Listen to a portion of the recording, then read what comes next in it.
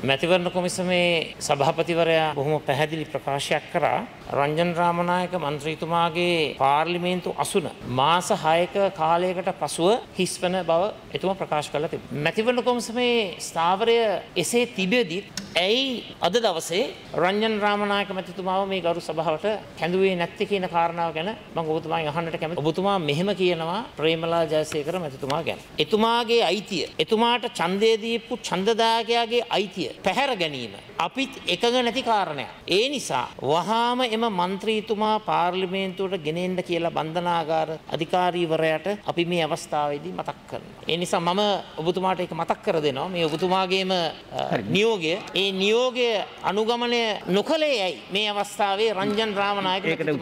ඒකයි අපිට තියෙන ප්‍රශ්නය.